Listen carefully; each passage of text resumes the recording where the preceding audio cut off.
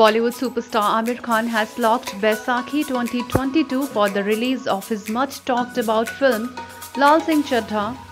It will hit the big screen on April 14, 2022. Atul Kulkarni has done the Indian adaptation of the Academy Award winning film Forrest Gump that was written by Eric Roth. Laal Singh Chaddha also stars Kareena Kapoor Khan and has been directed by Advait Chandan with music by Pritam and lyrics by Amitabh Bhattacharya.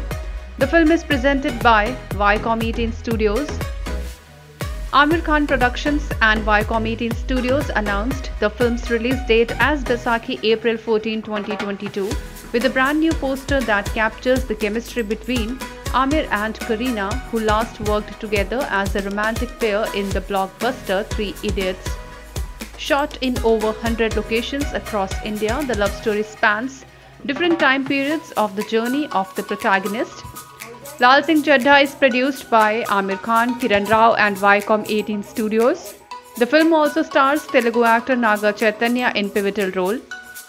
Chaitanya had posted a picture of himself with Aamir on the social media site. Both the actors are dressed as army men.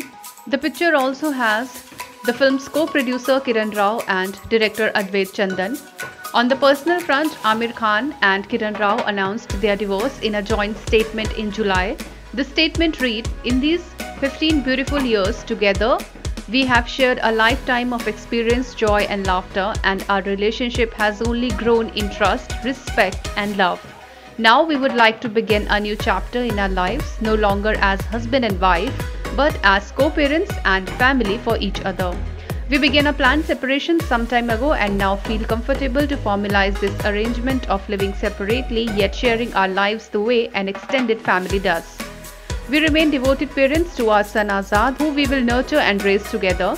We will also continue to work as collaborators on films, Paani Foundation, and other projects that we feel passionate about. A big thank you to our families and friends for their constant support and understanding about this evolution in our relationship, and without whom we would not have been so secure in taking this leap.